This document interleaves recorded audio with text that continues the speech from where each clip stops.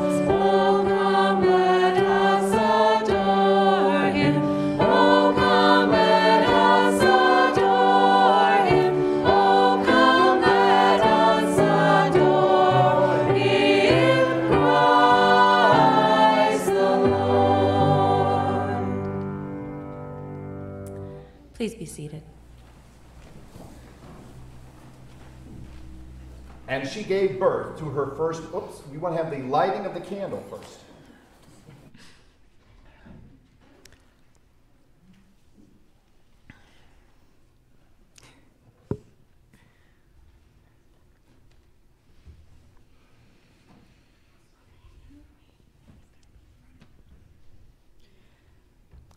Luke 1 26 to 38. Now, in the sixth month, and the angel Gabriel was sent from God to a city in Galilee called Nazareth, to a virgin engaged to a man whose name was Joseph, a descendant of David. And the virgin name was Mary. The angel went to her and said, Greetings, you are highly favored. The Lord is with you. Mary was greatly troubled by the words and wondered what kind of greeting that this might be. And the angel said to her, Do not be afraid, Mary, for you have found favor with God. And behold, you will conceive, have a child, and give birth to a son, and are to give him the name Jesus. He will be great and will be called the Son of the Most High and the Lord God will give him the throne of his father David, and he will reign over the house of Jacob forever, and his kingdom will have no end. How can this be? Mary said, since I am a virgin. The angel answered and said to her, The Holy Spirit will come upon you, and the power of the Most High will overshadow you. So the Holy Child shall be called the Son of God. Even Elizabeth, your relative, is going to have a child in her old age. And she was called barren, is now in her sixth month. For nothing will be impossible with God. And Mary said, I am the Lord's servant. May it be according to your word. And the angel departed from her.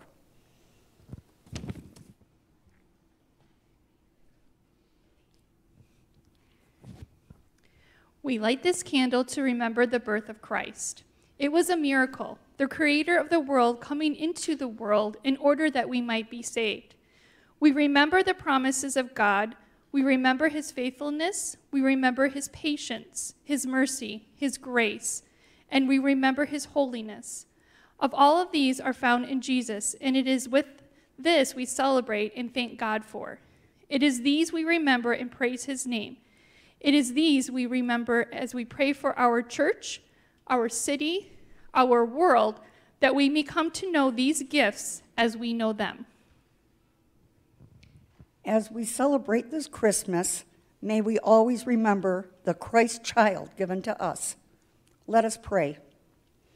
Dear God in heaven, thank you for the gift of your Son, the greatest gift one could ever receive. May his light shine through each and every one of us. Amen. Amen. Amen.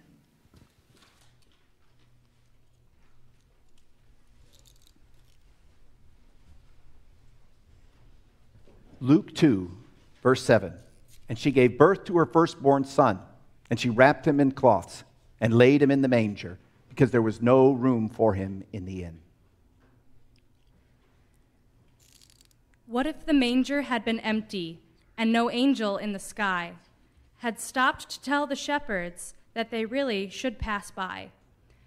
A dark and humble stable where God's glory shone around and the Father's precious only Son, a baby, could be found. Then there'd be no heaven waiting and no Savior's arm held wide to welcome his invited guests to come and step inside. There'd be no heavenly bridegroom, no glorious wedding feast, no church, no heavenly family, from the greatest to the least. If Joseph had been obstinate or Mary had said no, if the wise men hated traveling and didn't want to go, if the shepherds there in Bethlehem kept quiet about it all, would there be a Christmas story of a humble cattle stall? If he who reigned in heaven, the king enthroned on high, had been too busy making worlds to leave and come to die, or if all our pain and helplessness, our shame and our disgrace, had triggered only justice and no amazing grace. There would be no friend like Jesus to calm us in the strife, no saving free forgiveness, no second chance at life, no gentle Holy Spirit to change us from within, no overcoming power, no victory over sin. So come with me on tiptoe, and we'll take you to the place where Jesus, baby Jesus, lies with tears upon his face, assuring us of gospel truth that in this tiny form, within the hay on Christmas Day, redemptive love was born.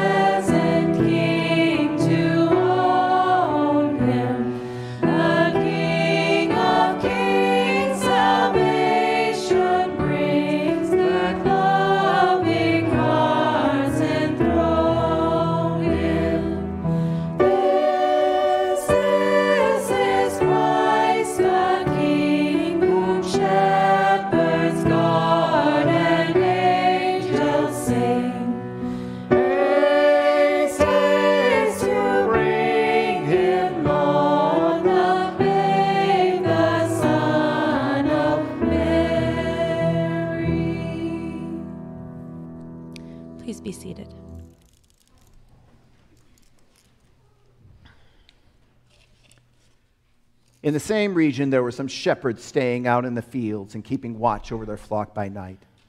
And an angel of the Lord suddenly stood before them, and the glory of the Lord shone around them, and they were terribly frightened. But the angel said to them, Do not be afraid. For behold, I bring you good news of great joy, which will be for all the people. For today in the city of David there's been born for you a Savior, who is Christ the Lord. This will be a sign for you you will find the baby wrapped in cloths and lying in a manger. And suddenly there appeared with the angel a multitude of the heavenly host, praising God and saying, Glory to God in the highest, and on earth peace among men with whom he is pleased. The shepherds had an angel, the wise men had a star. But what have I, a little child, to guide me home from far, where glad stars sing together and singing angels are? Lord Jesus is my guardian, so I can nothing lack. The lambs lie in his bosom along life's dangerous track. The wilful lambs that go astray, he bleeding brings them back.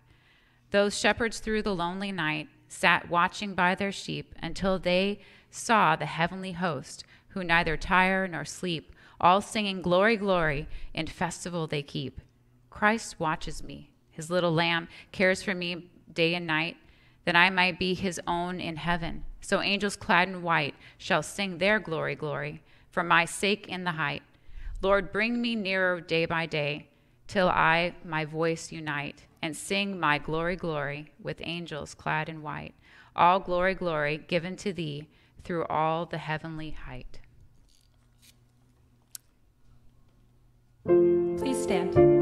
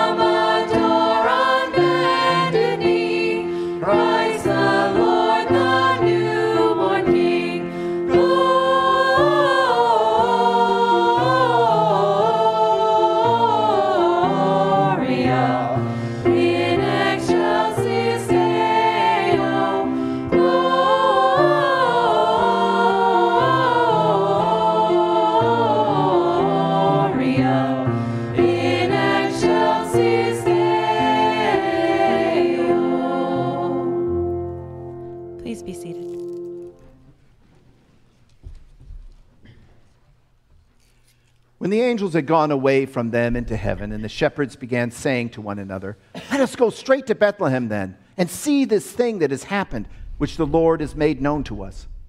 So they came in a hurry and found their way to Mary and Joseph and the baby as he lay in the manger. When they had seen this, they made known the statement which had been told to them about this child.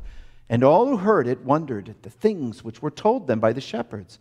But Mary treasured all these things, pondering them in her heart.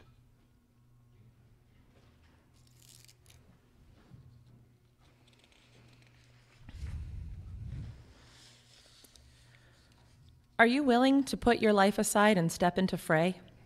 Not a war to be waged, but a life to live for someone else. Not your way, but His. Not your wants, but His. Not your comfort, but His. Are you willing to walk so you can carry Him? Are you willing to starve so you can feed Him? Are you willing to get wet so you can shelter Him? Are you willing to put your life aside and step into darkness? The war will come, not on tippy toes in satin slippers, not covered in medals and snapping salutes of honor, but with dirt and whips and swords and thorns and death, and death and the dead. Are you willing to give your love away and add worry to his life and add your worry to your life? To double your crow's feet, to silence your tears for his sake, to wring your hands in the shadows so he doesn't see? but know that he knows. And he may not seem to care, but one day you will know he did. Are you willing to live without leading? To follow his tiny feet at first, and when they grow, to step in his steps? To follow him from land to land, to see the people he's touched and wonder what might have been? To long for his touch and hug, and know the world needs him more? even though you need him most. To watch him die with the world on his back, crushed under the weight of sin, blackening the sun, cracking the earth, tearing the veil, breaking the heart. Are you willing? Are you willing? Mary was. Mary was willing. Make me willing too, so my heart might be healed and my love begin.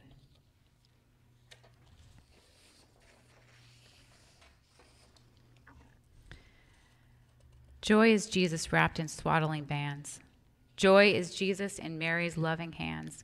Joy is Jesus making sorrow sing, mending deepest heartaches. What a gift to bring. For from the highest heavens, knowing well his plan, God laid him in our hostile arms, the precious Son of Man, knowing all before him the crib, the cross, the cost. He came to die at Calvary and seek and save the lost. That's you and me and everyone who's living on this earth. That's men and women, black and white, who need and want new birth. That's those of us with broken hearts and those who celebrate. It's those of us who love and laugh and those of us who hate. If empty was the manger and empty was the cross, if Jesus' tomb who is occupied, then all of us are lost. But here lies heaven's treasure, God's precious, dearest prize. In him will all our future hopes and dreams be realized. So may his joy now fill you, and the peace of God be known, till we celebrate our Christ, Chris, till we celebrate our Christmases around our Savior's throne. The shepherds went back, glorifying and praising God for all they had heard and seen, just as had been told them.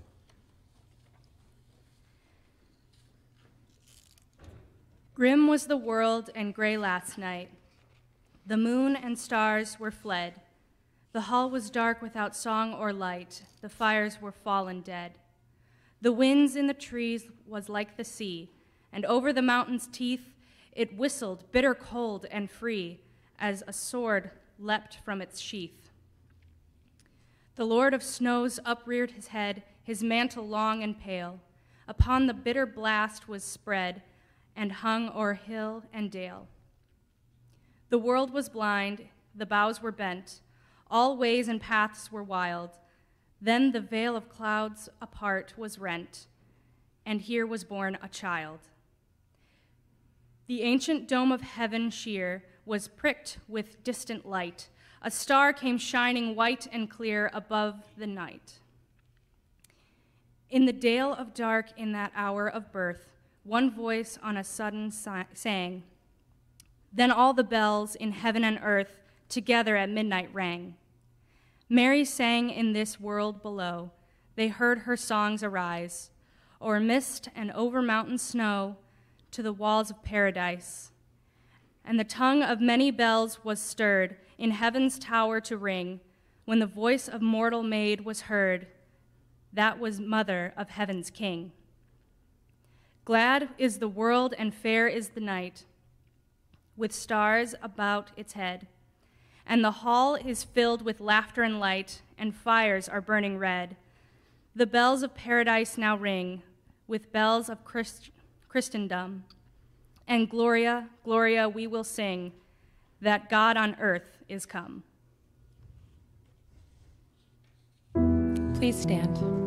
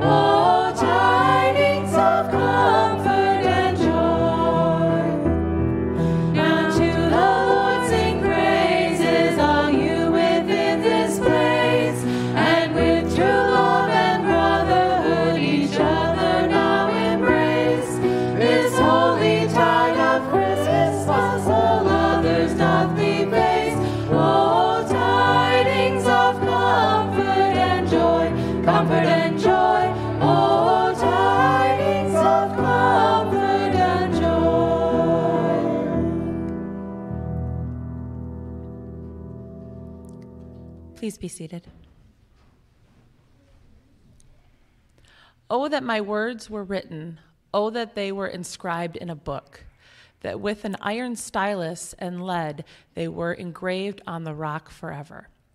As for me, I know that my Redeemer lives, and that at the, the last he will take his stand on the earth.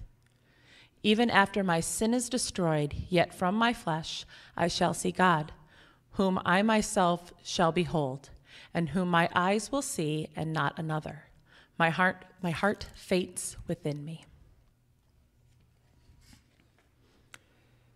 Could it be that our Savior thought of that day thousands of hours ago when the air was cool, the night was dark except for one star that showed the world something new had begun? Did he think of that day?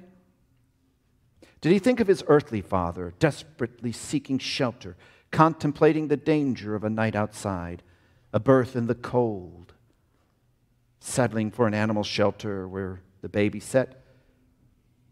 Did he think of that day? Did he think of the day when the wise men came and gave gifts they could well afford? Gifts for escape and gifts for death, but nothing to hold, no blanket for comfort, nothing for a baby or a mother or father. Did he think of that day? Did he remember the shepherds revealed in the night, told by the angels, the world is turning over? The light has come to live among us. Don't delay, go and look. He who will change the world. Did he think of that day? On the cross, filled, tearing, gasping, grasping, the faces filled with hatred, screaming, King, save yourself. Die, liar. A few friends and his mother at his feet. Did he think of that day? John, take care of my mother. Thief, join me in paradise. Father, forgive them. I love them. He remembered. He remembered.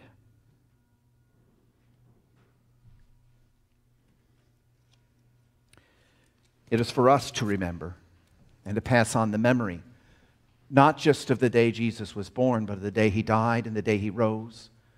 For the gift of his life is life for us, the gift of his death is life for us, and the gift of his resurrection is resurrection for us. We take this time and this day to remember the gift that God gave us, that he put inside of us and gives us an opportunity to share that with our family and our friends and share in a way and at a time that people will listen. We close our service by singing the song Silent Night, lighting some candles, and sharing with one another. Not just the light. Here in our hands, but the light also in our hearts. Please stand.